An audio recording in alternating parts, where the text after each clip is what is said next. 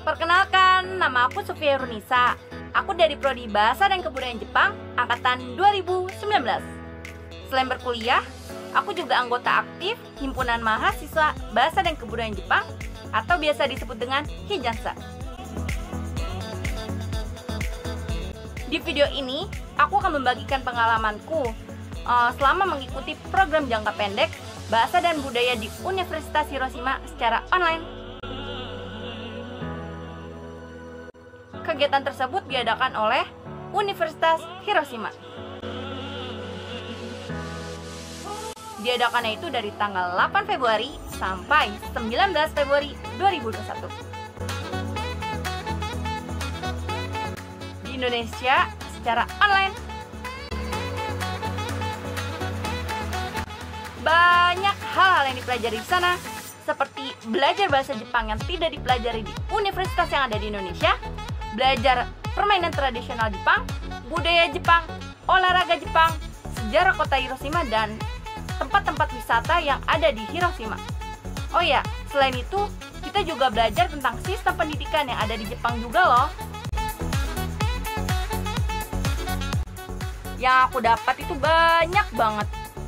Di antaranya itu, aku jadi lebih pede dan berani berbicara bahasa Jepang di depan banyak orang. Apalagi di sana, kita belajar itu mengasah bahasa Jepang itu dengan native Jepangnya secara langsung, walaupun secara online sih. Dan aku juga di sana mendapatkan info-info beasiswa untuk melanjutkan pendidikan ke universitas yang ada di Jepang, terutama di Universitas Hiroshima.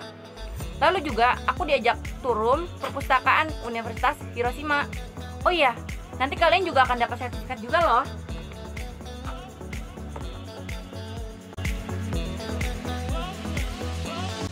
Untuk kalian yang ingin daftar, kalian bisa cek postingan sosmed Prodi Bahasa dan Kebudayaan Jepang.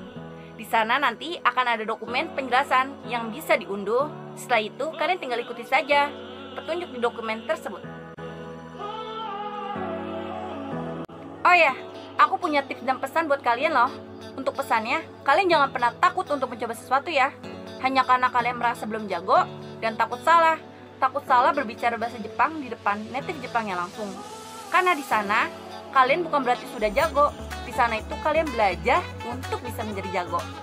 Dan sedangkan tipsnya, untuk kalian yang ingin mengikuti, kalian bisa nabung dari sekarang loh.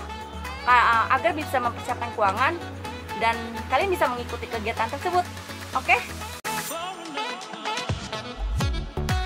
Oke, sekian cerita dari aku. Semoga video ini bermanfaat dan bisa menjadi referensi buat kalian yang minat ikut program ini. バイバイ。またね